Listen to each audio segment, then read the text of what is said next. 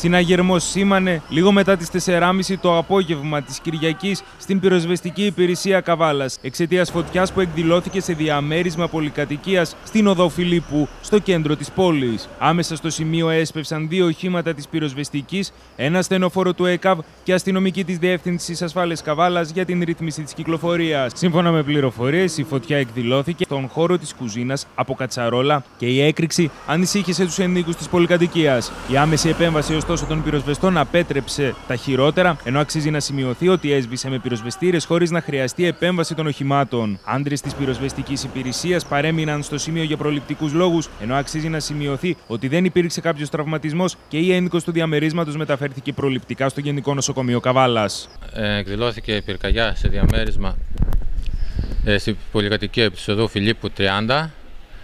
Ε, ήταν στην κουζίνα του διαμερίσματος. Η φωτιά περιορίστηκε εκεί.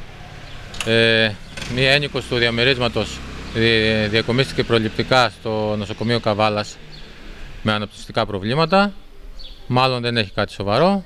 Η φωτιά κατεσβέστη άμεσα χωρίς να επεκταθεί περαιτέρω.